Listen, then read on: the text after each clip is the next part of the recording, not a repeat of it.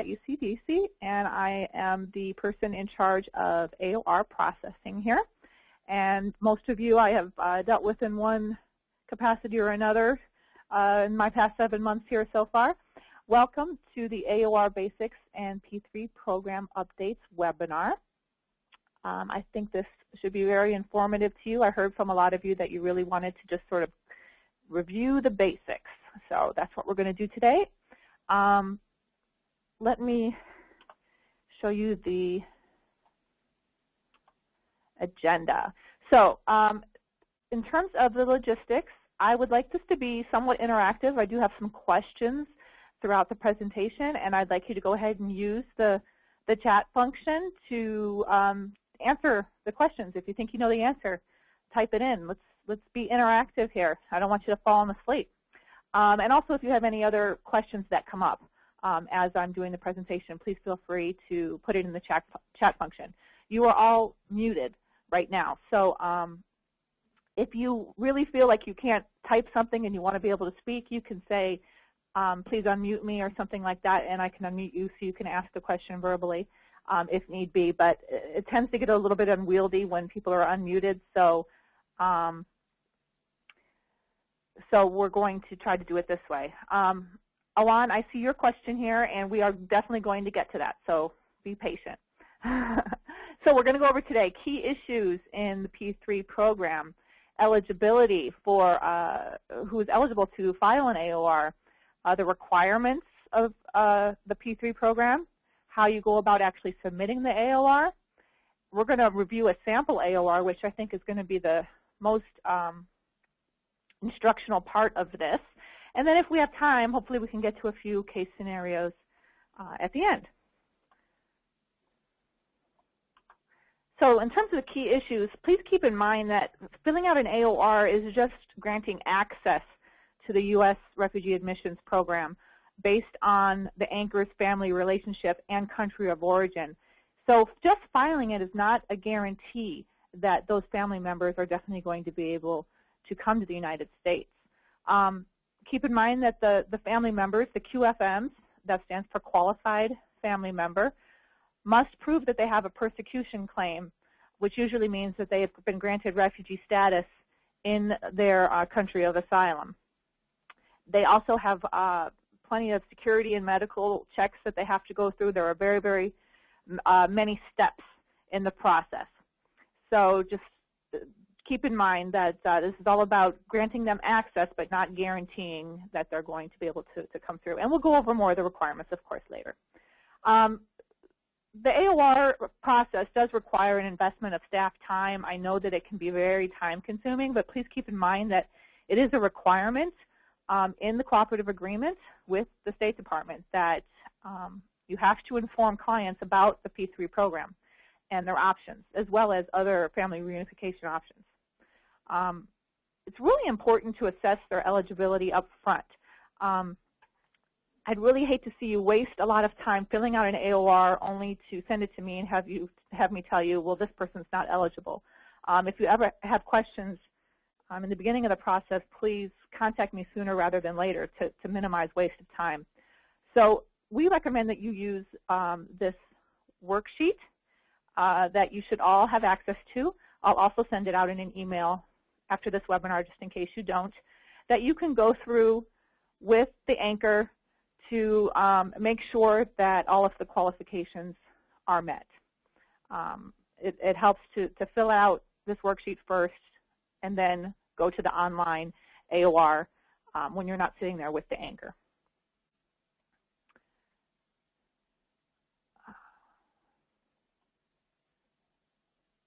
Okay, so um, we also uh, need to make sure that we're looking out for the possibility of fraud. The P3 program was entirely shut down uh, at one point because of too many instances of fraud.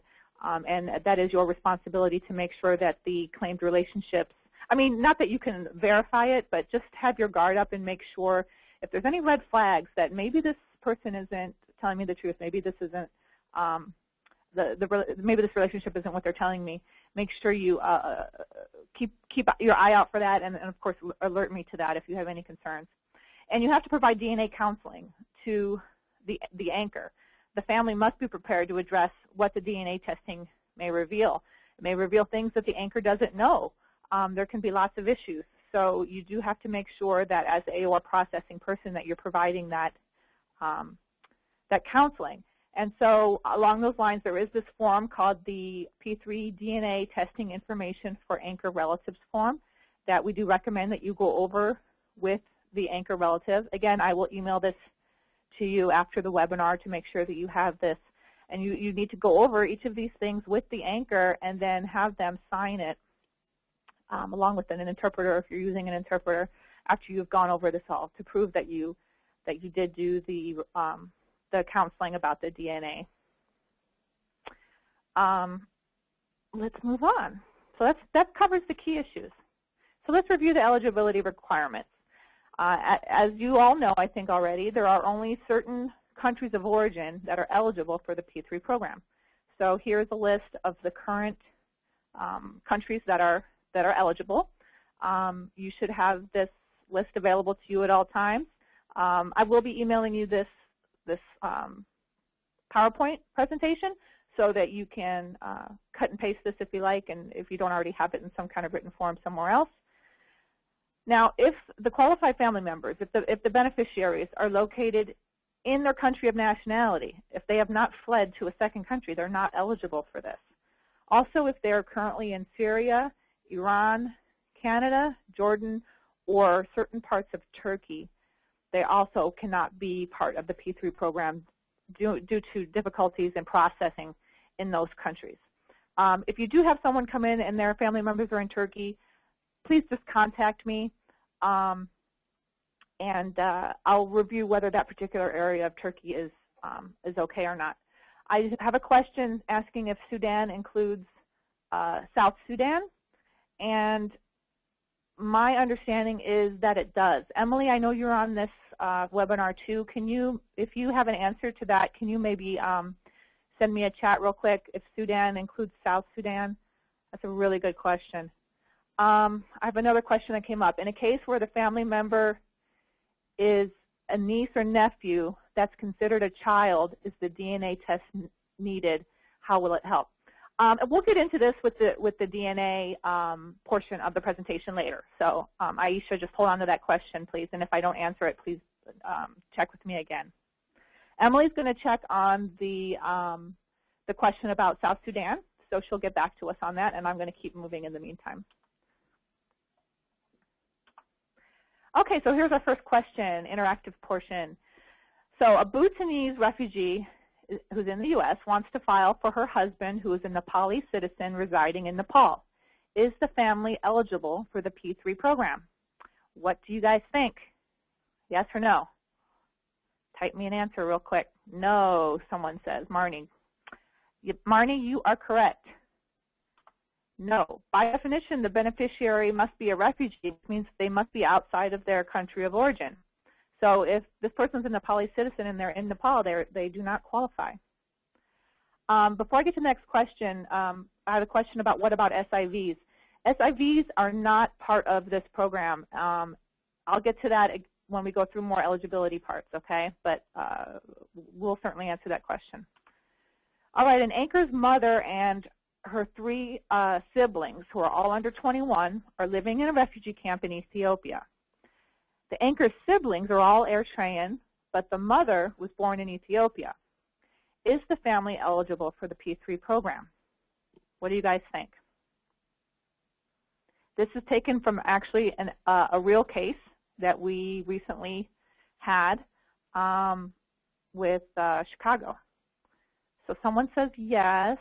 It's actually uh, some some people are saying yes. Well, it's a it's kind of tricky. Um, the answer is actually no, because the mother, who's the qualified family member, is living in her country of origin. She's Ethiopian. She's living in Ethiopia. So she does not meet that eligibility requirement.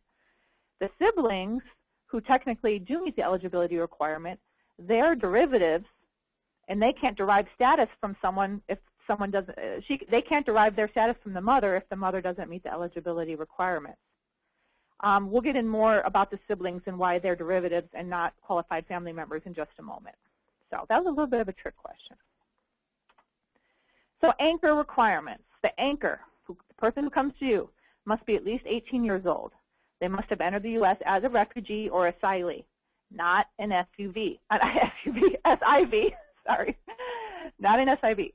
Um, there's a whole other program available for particularly Iraqi, families of Iraqi um, SIV recipients that you can find on the uh, USCIS website if you search for um, Iraqi SIV family reunification, I think it, it, should come up. But they are not, not eligible for the P3 program. And they must have entered within the past five years, and they have to provide proof of legal immigration status. Oh, man, the answer came up. It wasn't supposed to come up. So the documents that you need to ask the anchor for to prove his or her eligibility um, means their I-94 card if they're um, not a permanent resident yet, or their LPR card, or if they were able to obtain citizenship, um, say through uh, marrying a, a, U.S. citizen before five years, they can provide uh, that documentation as well. And so you need to scan that, and that is part of the AOR application, that proof of eligibility, or proof of uh, legal immigration status. You also want to copy their state ID or driver's license and just keep that for your records in your file. So the qualified family member requirements. Uh, they can be the parents of the anchor, the spouse, unmarried children under 21 years of age, that is unmarried children of the anchor. They um, qualified family members all must establish their own persecution claim or have refugee status, same thing. Um, now this is a new part. They must be able to show proof of registration in their country of asylum. Okay, um, same with the derivatives uh, all beneficiaries listed on the AOR must be able to show proof of registration in the country of asylum. Now, that uh, requirement varies from country to country. So I wanted to go over this uh, list of exit formalities with you all to show the differences. In Africa, as you can see, um, in Ethiopia, Kenya, Uganda, Djibouti, and South Africa, they're requiring both verification from the UNHCR office there and from the, the local government, from the, the country government. Both are required. Um, in Europe, as you can see there, it's just the government. Same with Ecuador. In um, Middle East, North Africa, it's only UNHCR requirement, that uh, proof that's required. South Asia, Nepal is from the government. In India, it's from UNHCR. Pakistan, it could be from either. Sri Lanka from UNHCR. And uh, in Turkey, you can see the difference, differences there in the various countries. It's um, either the UNHCR and the government or just the UNHCR. Now, Burmese applicants that are in Malaysia and Thailand are exempted from this. They do not have to show proof of registration, but everyone else does. So that means you have to copy. Uh, the anchor has to have this with them when they come to see you, and you have to um, copy and scan it, or you are, or they give it to you in electronic form, whichever, um, and provide that with the AOR when you file it now. So this is a change. All right, let me go back. So, proof of registration in the country of asylum. The uh, derivatives, the qualified family member derivatives, also called type B. We'll go over that when we, when we go over the form. Those are people who derive their status from the main QFM, which means they do not have to have their own persecution claim, okay? They derive their persecution claim from the QFM. So the people that are um, that, that qualify as derivatives are the spouses, a spouse of a QFM, the unmarried children under 21 of the QFM. Um, again, if it's the unmarried children under 21 of the anchor, they're up here. They're a QFM. They're not a derivative. Okay. Um, and again, they, they also have to provide proof of registration in the country of asylum. Here's a question. The anchor tells you that he wants to file for his wife, but they had a traditional marriage three years ago, and there was no official state record of the marriage. He never told the RSC or DHS, Homeland, Homeland Security, during his refugee interviews a year ago that he was married. So this is the first time he's claiming that he's married. What do you advise the anchor? Um, does anyone have any ideas? If so, feel free to type it in. Someone says file an I-130 instead. Um, I don't think that that would work uh, because still go, that still goes through uh, Homeland Security, and they're still going to say, hey, wait, you never said you were married before. Someone says get the certificate of marriage. Okay, well, the marriage must have been legal in the country in which it took place, and the U.S. must be able to recognize it too, which means polygamous marriages are not um, counted. So you might request to see evidence that the marriage is legal, like a marriage certificate, like someone said. Although a marriage certificate is not required for the AOR application, it may be required during the process, especially if he did not report to DHS about his marriage. So you don't have to provide, when you, when you send the AORs to me to file, we, we don't have to submit marriage certificates. But this may come up later during the interviewing process um, because they're going to have access to um, the anchor's previous you know, refugee application and all his paperwork. And if it comes up that you know, he never reported he was married, it's certainly going to raise a lot of red flags. So um, you would advise the, the anchor to um, try to obtain a, uh, some sort of proof of marriage. Someone said an affidavit or a witness statement that may be helpful. Um, you know, sort of, I think it sort of depends on on the interviewer what they're willing to accept, but uh, that's just a red flag to be watching out for. So the the um, type C of uh, people that are um, beneficiaries on an AOR are called add-ons. Now, add-ons are um, very difficult to to get. They're rarely granted because they must meet very strict criteria and they have to have their own independent persecution claim. So remember how we said the derivatives derive their status from their from the QFM? They don't have to have their own claim. The add-ons do. They have to have their own refugee status, their own independent persecution claim. So the strict criteria that these must meet, the person must have lived in the same household in the country of nationality, not in the country of asylum, although that may be true as well but the country of nationality is the, is the important piece here. They must be have been part of the same economic unit in the country of nationality, again, before they fled to the country of asylum. And three, they must be able to, you must be able to show exceptional and compelling humanitarian circumstances. Now that's a really hard um, burden right there. Basically what that means is you have to be able to show that this person would be left without any social, economic, and or psychological support or that their security would be compromised if they were left behind. So this is a pretty high burden. Um, this, so this is for people like uh, someone that just sort of uh, started living with the family. Often this happens in the country of asylum in a camp. You know, someone sort of unofficially adopts a child that doesn't have a family and they're living with you, with this family in the camp. Um, that that well, the situation I just said wouldn't wouldn't actually qualify because they didn't live together in the country of nationality. Now, let's go on because I have a question about this. So the anchor is filing for her father and family. She tells you that her 85-year-old grandfather has been living with the family for the past 25 years since his wife passed away. When the family fled to the country of asylum 10 years ago, her grandfather left with them. The grandfather currently resides with the family and relies on them for support. He has poor vision, memory problems, and besides his family, he has no other sources of income and support. Is this grandfather eligible to be included as an add-on? What do you guys think? Type it in.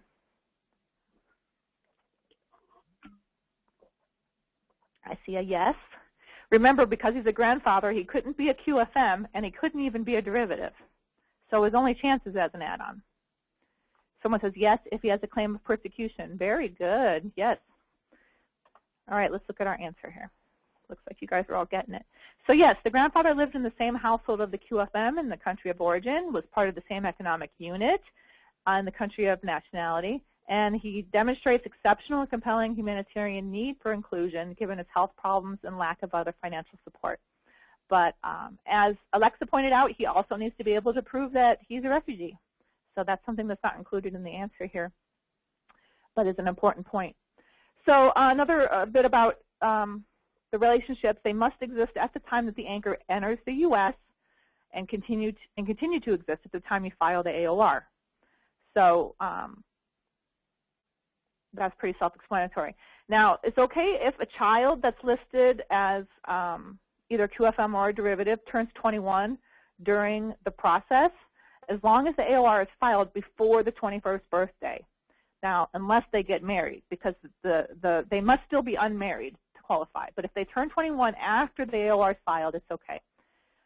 Emily has just responded that, yes, South Sudan and Sudan are both eligible countries for the P3 program. So to go back to that question that was asked earlier, yes, South Sudan is an eligible country. Thanks, Emily, for looking that up.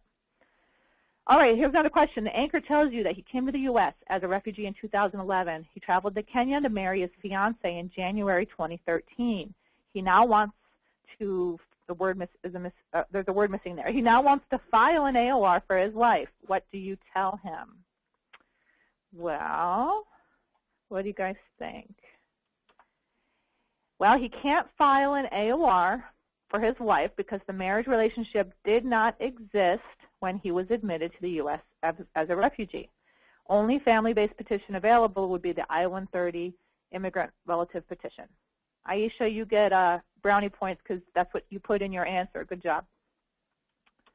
All right, unborn children, if a child was conceived but not yet born on the date that the anchor was admitted to the U.S. as a refugee or asylee, that relationship will be considered to exist as of the date the anchor was admitted to the U.S. Okay? Step relationships. The marriage creating the step relationship must have occurred before the child's 18th birthday in order for the step parent or stepchild to be claimed as a qualified family member or a derivative. So keep these two things in mind if you ever come across these situations. All right, an anchor, 30 years old. His father married his stepmother 11 years ago, so do the math, and passed away five years ago.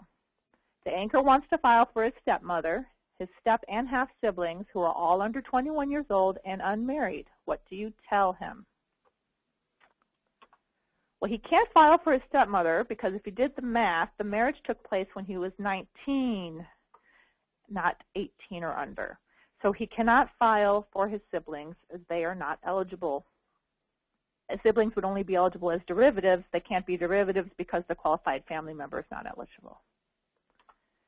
Adoptions. Um, in order for adopted children to be eligible, the children must have been in the legal custody of and resided with the adopting parents for at least two years and have been legally adopted before their 16th birthday or be the natural sibling of a child described above um, and been adopted themselves before their 18th birthday. So this is a little bit complicated. I know it's kind of confusing. If you run into a situation with an adopted child, gather the information. You can always give me a call. We'll talk it through. We'll figure it out. Here's a question. The anchor tells you that she left her 12-year-old adopted child in Ethiopia. What information do you need to find out from the anchor? We need to know when the adoption took place, how long the child had lived with her as her legally adopted daughter, whether the adoption was legal in the country in which it occurred, and whether there was an adoption certificate.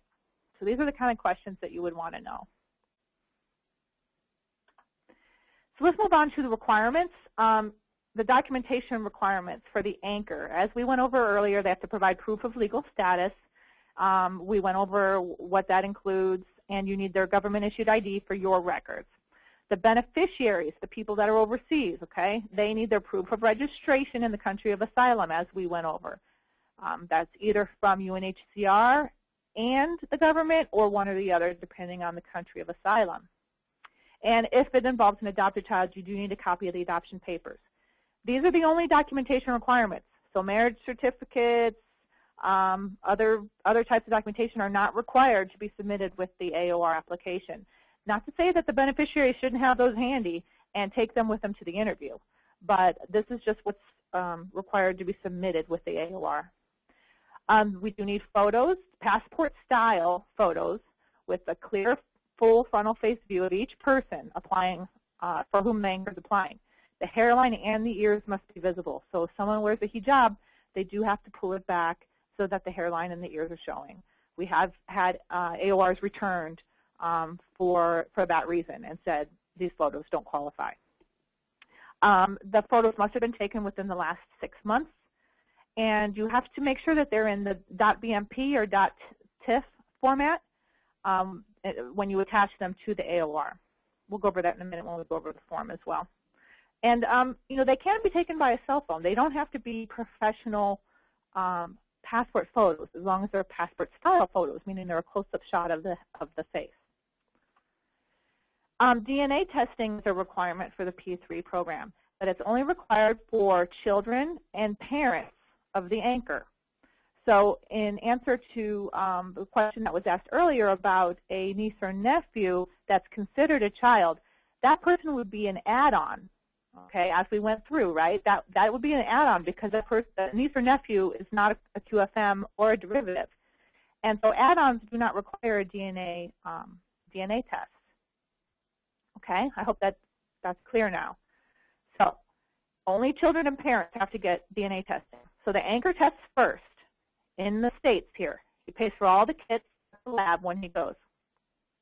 He has to go to an AABB accredited facility. There's a website with all facilities listed, and that website link is given in the letter that is sent to the anchor when it's time to do this. Uh, okay, the average cost is $440 for one or two parents against one child, and an additional $220 for each additional child. So the anchor pays this up front, and then if all of the relationships are confirmed, when the beneficiaries overseas then do their testing, IOM will issue a reimbursement check to the anchor.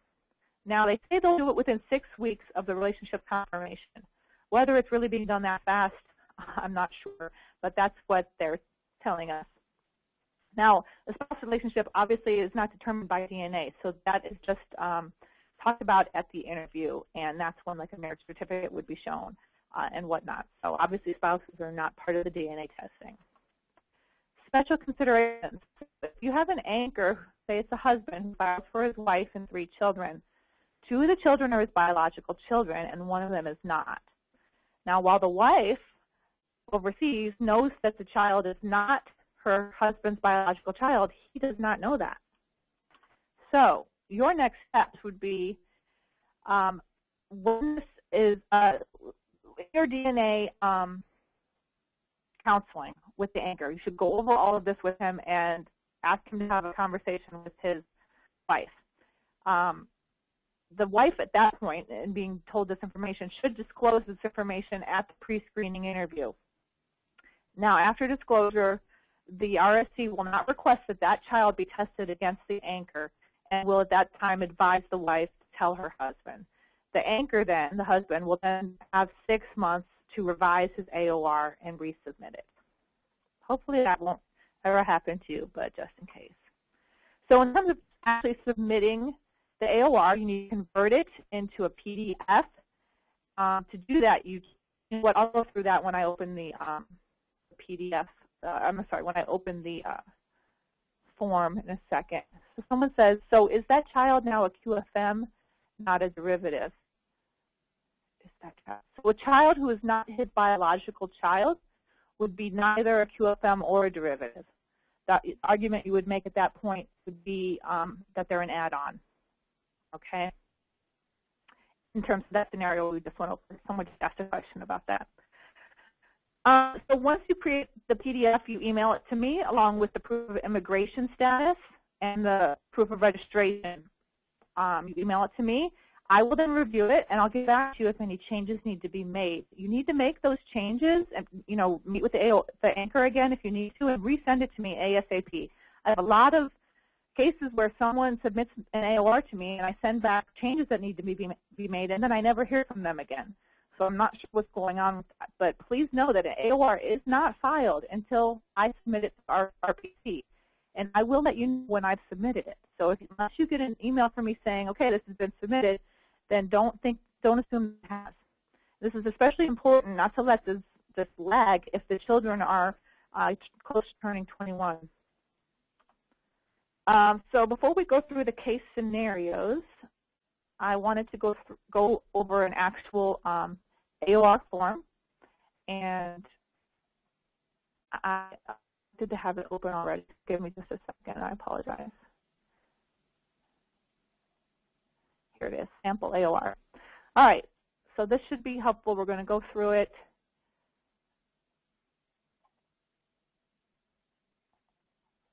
All right, so this is all um, made up information. A lot, most of this is very um, self-explanatory. I won't spend a lot of time, but case file ID is the alien number. Sometimes people put um, social security numbers or other things there. Make sure that's the, the anchor's alien number.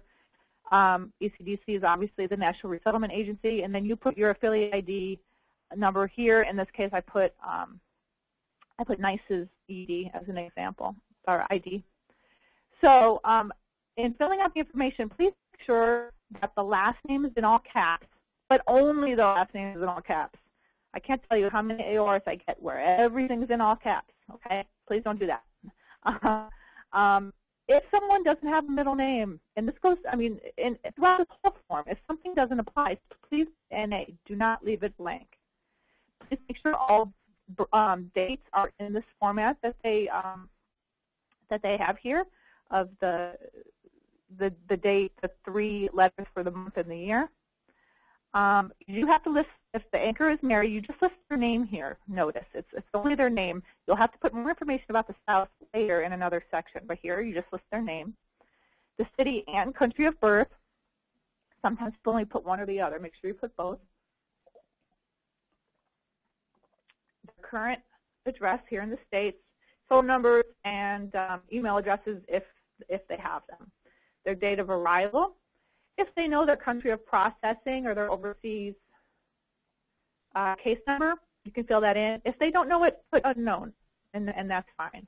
And of course, you have to click what their um, current immigration status is over here. Now, this is the first QFM, right, um, in section 2A1. Now, what we have listed here is the anchor's father. Um, please notice the city and country of birth is required. Again, people often don't put both. The nationality, make sure we're checking that this is a nationality that is, is uh, eligible for the P3 program.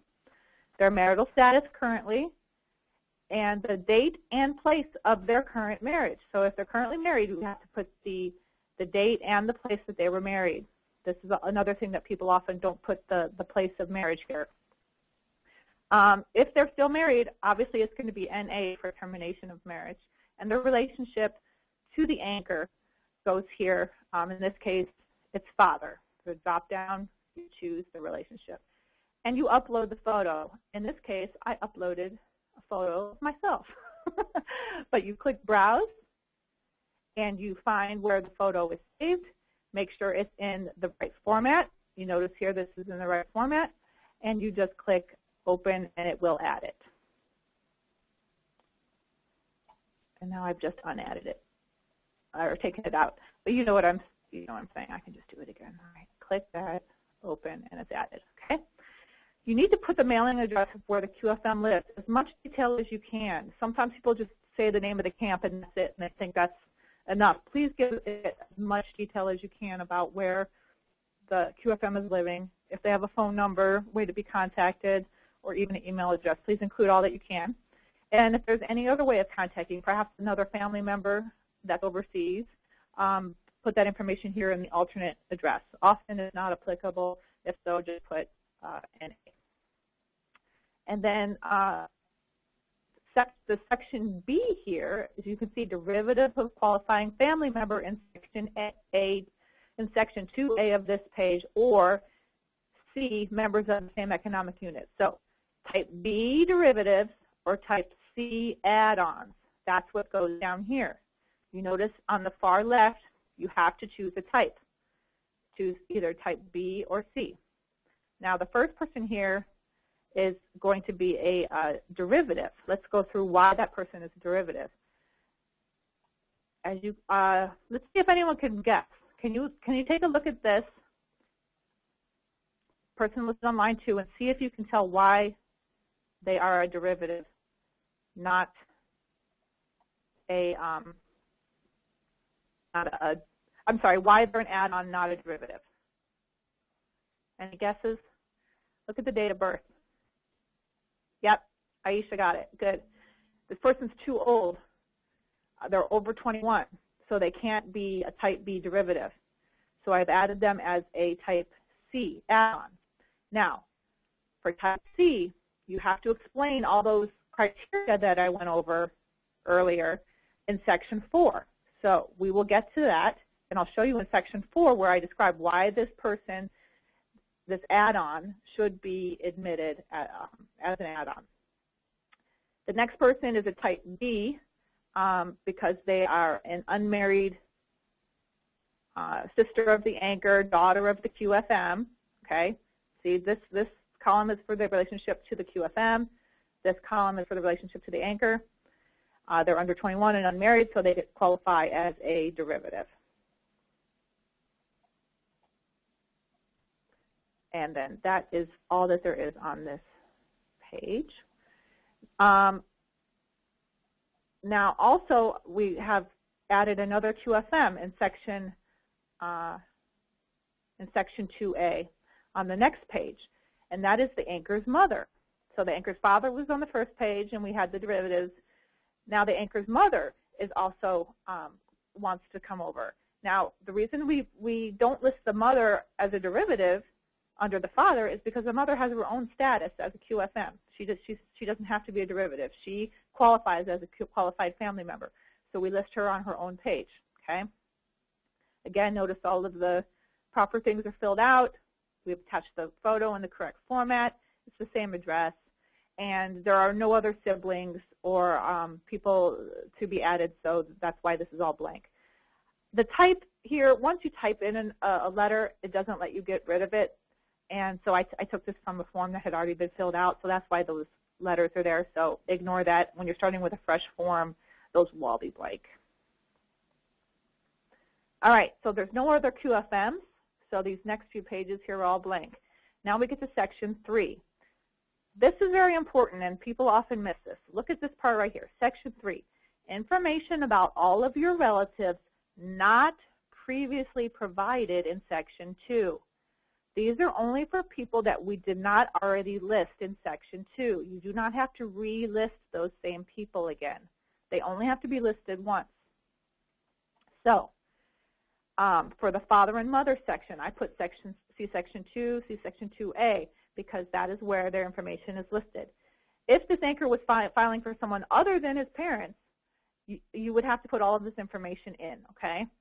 Um, often uh, I find that parents of anchors are deceased. And it's over in this section where you check whether they're living, deceased, or unknown. Um, I've had many situations where, say, the father is living or the mother is deceased or vice versa, and so there's a confusion about what to put for the marital status.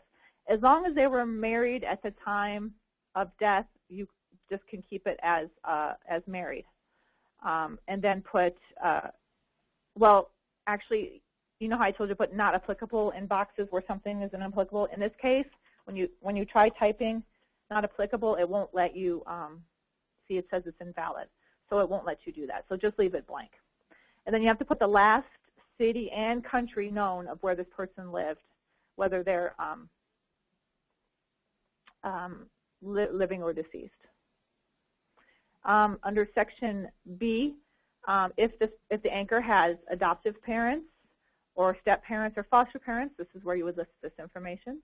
So up here is for birth, birth parents. Down here is for any other uh, type of parents. If it's, if not applicable, put it not applicable. Type uh, Section C here, you have to list the spouse. So remember how on page one I told you we listed the spouse's name? Sometimes people come to me and say, well, we already listed the spouse. Why do we have to list it here? Because that was only their name. This is the full information for the spouse. So please fill out all of the information, city, country of birth, the status, whether they're current or former spouse, um, date and place. Oh, see, look, I messed up here. I put the date of marriage, but I did not put the place. So I would, uh, in reviewing this, I would have returned it. Um, and then the if they if this is a former spouse, put the date of uh, termination, current city uh, or last known city or country, whether they're living, deceased, or unknown. Um, I just got a question that says why, why we are not listing the mother or the father as derivatives in Section 2A. Because they're not derivatives. They have their own status as qualified family members. Remember when we went over the eligibility of who qualifies as a, qual as a qualified family member? It's the parents of the anchor, the spouse of the anchor, or the unmarried children under 21 of the anchor. If they meet those requirements, they are their own qualified family member. The only time they have to be, someone has to be listed as a derivative is if they are not one of those three things. So if they're a sibling of the anchor and they're under 21 and unmarried, they can be a derivative, for example. Okay? That's why. I hope that's clear. All right, so section three, you have to list all of your children. Again, it's pe people who were not previously provided in section two. So if he had listed some of his children in section two as people that he wanted to bring over, um, we would not repeat that information here. This is only for people that were not already listed. In this case, I put NA, um, he doesn't have any children. But please keep that in mind. Uh, brothers and sisters. If, uh, as you can see uh, in section one, in section two, we listed two of his uh, sisters, didn't we? So I put see section two here. If he had other siblings that were not listed in section two, we would need to put their information here. Often there's there's like eight or nine siblings listed here, and sometimes people get frustrated that they have to provide all of that information, and they say, "Well, I, the anchor can't remember, he doesn't know, whatever." Do your best. They have to fill this out um, because if this information is not complete and they and and and it goes through an interview, if there's any discrepancies, um, it really jeopardizes the whole case. So really stress to them that it's important uh, to, to to include all of the information right up right up front here. Um, if they don't know the date of birth, do their best to estimate it and then check the box. Uh, city country of birth, marital status, uh, current or last known city and country, living deceased or unknown, and the relationship to the anchor. So all these different types of sibling relationships all have to be listed. Stepsisters, adopted brothers, foster sisters, all of that, okay? Uh, let's go to, all right, this is section four. So this is for the add-on. Remember I said in section four we were going to talk about um, the add-on. So in this case, this was left over from the AOR I took this from, so that's wrong. So we're it's section two, section two, number two, which was the add-on. I, I describe here my sister, Ola Abdi, is physically disabled and unable to care for herself. She's had severe cerebral palsy since birth. She's always lived with our parents and has been cared for by them both in Ethiopia, which if you remember is their country of origin, and in Kenya, which is their country of asylum. She fled to Kenya with the whole family in 2000 and is registered as a refugee with UNHCR. So that shows that she has her own uh, independent claim of persecution. Uh, our parents provide for all of her financial support and physical care. She would not be able to care for herself if our parents left Kenya without her, and there are no other family members in Kenya that can care for her. So that explanation there, those few sentences covers all of the criteria that I mentioned. So this person would most likely be accepted as an add-on. Um, keep in mind, uh, you know, I, I, I used in this example that she has severe, severe cerebral palsy. Maybe less severe cases might be accepted as an add-on. Um, I've had uh, an AOR that I submitted recently where the add-ons were sis, the anchor's sisters who are Iraqi and they were all over 21. The only really explanation they could put here was that in their culture, women, um, you know, can't, they're not really um, left with, if they're left without a male um, family member, they could be vulnerable, uh, that sort of thing. And, and so the, um, the, the AOR processing person at that agency did their best to try to describe that. But to tell you the truth, I don't know if that's going to be accepted or not. We're going to have to wait and see. But we submitted it, so we'll see what happens with that. So that is section four. And um, some, some people have asked me, well, how do we how do we get the signature on this? You don't actually have to submit a signature. Um, this is all electronically done. So don't print this out and have the person sign and scan it back in. Don't do not create a PDF that way. Okay. Don't worry about the signature. Uh, but fill in the name, date, your name, date, and your affiliate name and address and phone number. So um, Oh, the next page is the photos. So if you attach the photos correctly in the earlier part, they should all be showing up here. So make sure you scroll through and make sure all of the photos for the um, for each person is uh, included here. Now, so, so this is the father and the two sisters that we talked about um, on Section 2. Section 2A is where the mother would go, because remember, she's her own QFM. So each QFM has their own page. If there was another QFM, it would go here.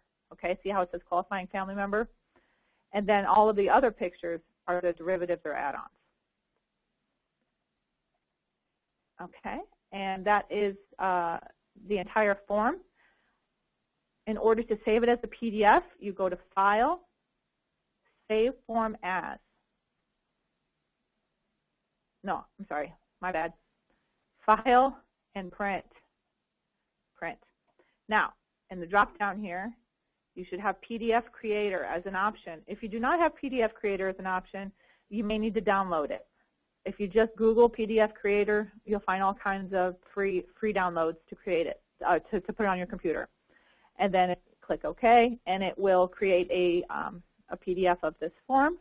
And that is what you then send to me um, along with the PDF of the proof of immigration status, and now also the PDF of the proof of um, registration in the country of asylum. So down here, no, I don't want to download a new version. Okay, so then this pops up. You can click uh, Save, and it'll ask you where you want to save your form, and that's so that's how you save it as a PDF. Okay, does anyone have a question about this AOR form, the actual just basics of filling out the form? Type it in the in the chat section if you have a question, and I'm going to take a sip of water.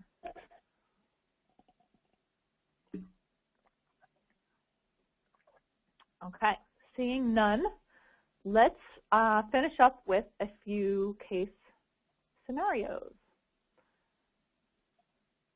Okay, so again, type in the answer if you know it. Amina is a 16-year-old refugee from Somalia and was resettled last year. She comes to your office, office and asks if she can file an AOR for her mother, stepfather, and half-siblings who reside in Somalia. Is she eligible to file? Okay, I've got one right answer, two right answers. Looks like you guys got this one. So the answer, as you all uh, guessed, is no. Uh, she's not 18 years old. Um, and her family is still in the country of origin. She remember she said she's from Somalia, and her family are still in Somalia. So that's two reasons that, that she is not eligible to file for her family members. Next question. Bashir is from Pakistan. He was granted asylum, asylum status in the U.S. on January 1, 2007, and is now a U.S. citizen.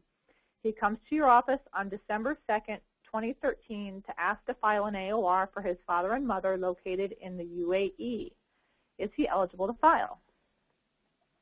If you, oops, ah, too, too many years have passed, someone says. Okay, so no, he is not eligible to file because he's not from an eligible country. Pakistan is not on the list. Um, and he's had asylum status for over five years and you can no longer do grandfathering. The grandfathering period is over. So no, he is not eligible. Charlie is 30 years old and he's from Iraq. He arrived in the U.S. as a refugee unmarried in 2011 and traveled to Jordan in 2012 to get married. His wife resides in Jordan.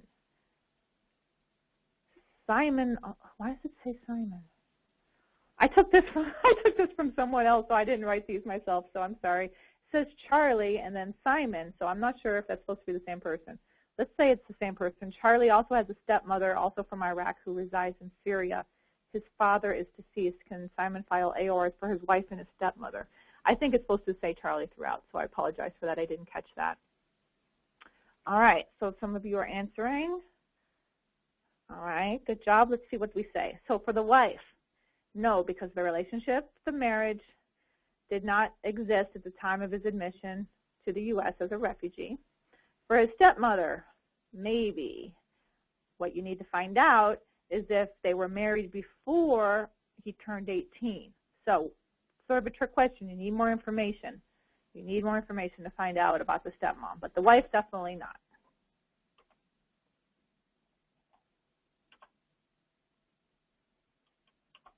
Hello? Where's my next question? Oh, there it is.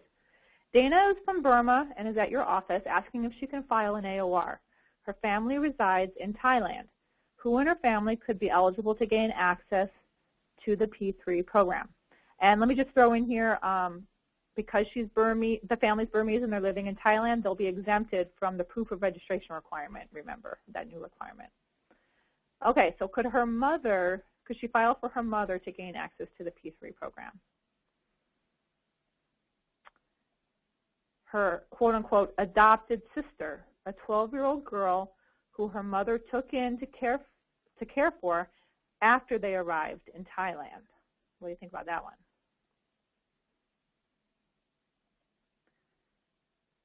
Her 25-year-old brother, who has severe health and mental health conditions, which render him unable to care for himself, and he relies on the, on the care from their mother. Is he eligible? And think about in what category. What about Dana's 18-year-old daughter who is married?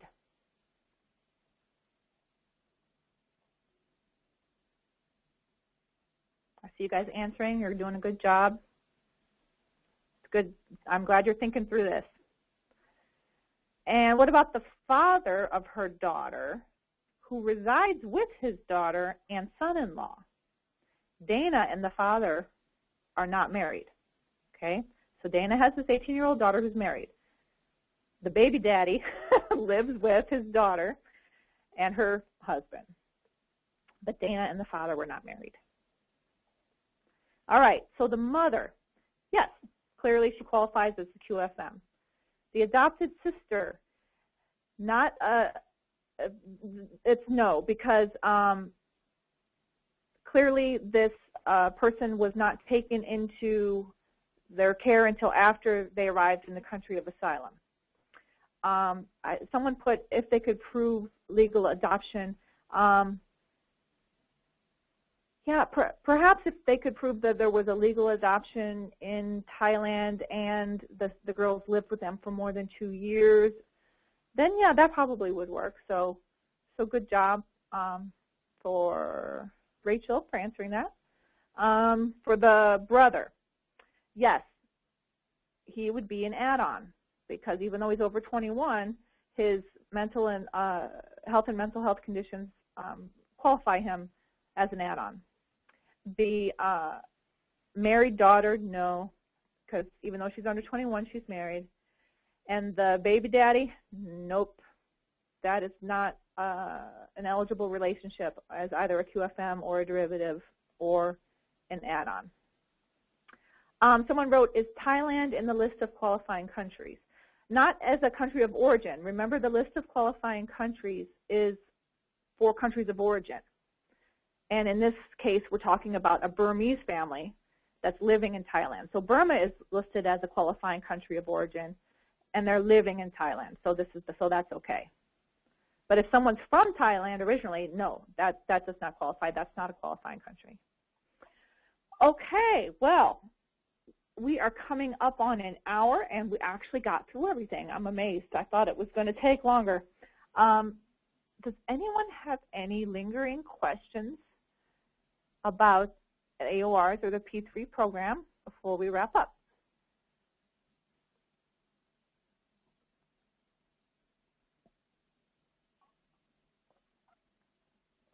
Wow, I must have been so clear that everyone just knows everything about AORs now and is ready to just jump out and, and ask and, and fill out these AORs and we'll get all kinds of AORs filed in the next couple of months. Alexa, you said yes, you have a question. Um, does that mean you want me to unmute you? Please answer yes or no whether you want me to unmute you. Oh, you wrote your question. How many of AOR submitted actually result in resettlement? They have not released any statistics to let us know that. So uh, there is no answer to that question. The, this new P3 program was just, you know, relaunched recently. Um, Emily, maybe you could um, jump in here. I think it's only been about a year, or has it even been a year yet? Uh, maybe it's coming up. Actually, yeah, it's been over a year, so it's coming up on. Uh, in I think in October it'll be two years that they restarted the P3 program, um, and so they're not really releasing any statistics yet about uh, what how many have actually resulted in uh, resettlement. Um, from our experience, we don't have any from this after the relaunch that have actually come to the U.S. yet. We do have one that's very close. Um, the DNA tests have all been confirmed. They've gone through all the security checks, and they're sort of in the last last few phases. Um, so hopefully we're going to have our first uh, person coming through the P3 program through ECDC very soon. Next question is, uh, any length of time in processing from start to, to finish, to, to the time of resettlement? Again, um, they're not giving us, uh, giving us that information. They're saying it could take up to two years. Um, it's, ju it's just so hard to know, and there, there's these things that keep coming up, like this new requirement of having to show the proof of registration, so that caused a, lo a long delay. Um, so we unfortunately are not able to give an actual precise estimation of how long it'll take. Um, about two years is probably a good guess. Uh, on average, how long does an AOR take to process from when I submit it to ECDC to when the QFM arrives in the U.S.? Okay, so that's basically what I just, the question that I just answered. Um, let's see, how do you take a picture for an AOR, which requires ears and hairline are showing for a woman that wears a hijab? Well, we recently just had that issue, um, and what the person, what the women did was they just pulled back their hijab just enough so that a little bit of hair was showing right at the temple, right at the top of the head, the temple there, and um, and and pulled it back so that their ears were showing. I'm assuming that a woman must have taken the photo, um, and that's how they were able to do that. But it can be done. Um, and someone has a question, um, options for Afghani SIVs.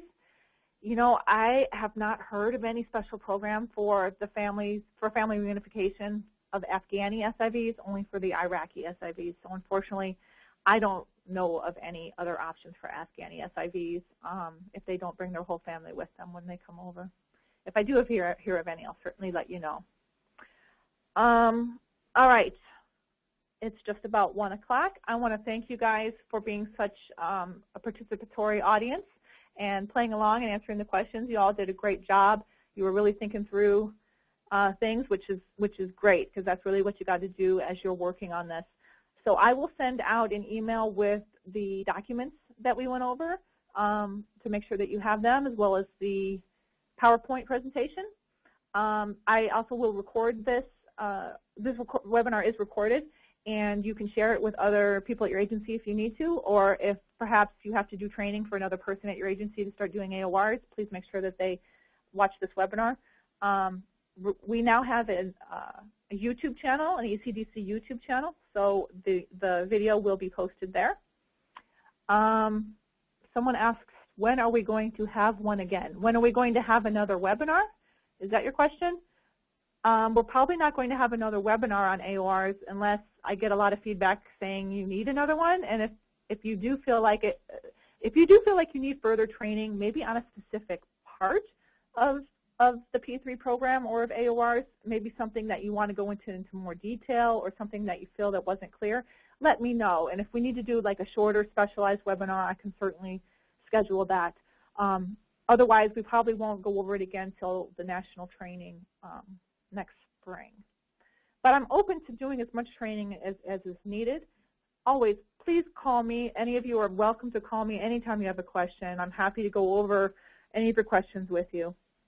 And uh, at this point, we are finished. So I'm going to say thanks very much, and we'll talk to you guys later. Bye-bye.